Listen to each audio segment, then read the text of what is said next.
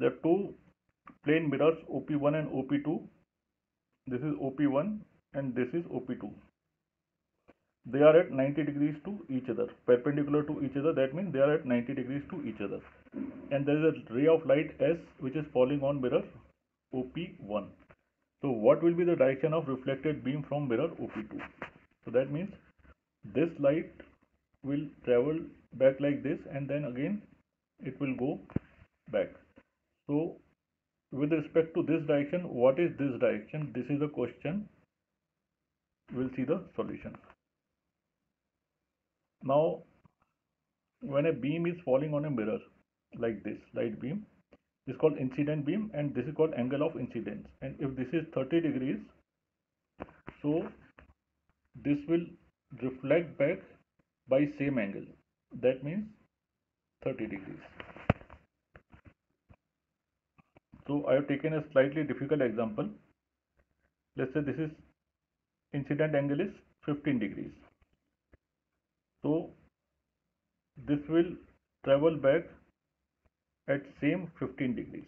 And if this is 15 degrees then this angle is 90 minus 15 75 degrees so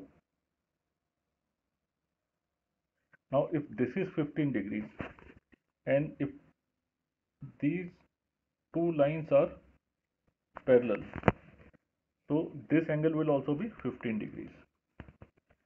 And 90 degrees are given to us. So if you work out this angle this will also be 75 degrees. 15 9 you can do 90 minus 15 is equal to 75 or from the triangle also you can find out. Now the beam will travel back with same angle of incidence as it has come. So what is this angle? So this angle is 75 degrees because this is 15 degrees and total is 90 degrees so this is 75 degrees. So that means it will travel back at same 75 degrees so if you see the position now this is one line and this is another line. Let's assume this is another line. Here it is making 75 degrees here also it is making 75 degrees. So that means these two lines these two lines or rays they are parallel to each other. So our answer is option c.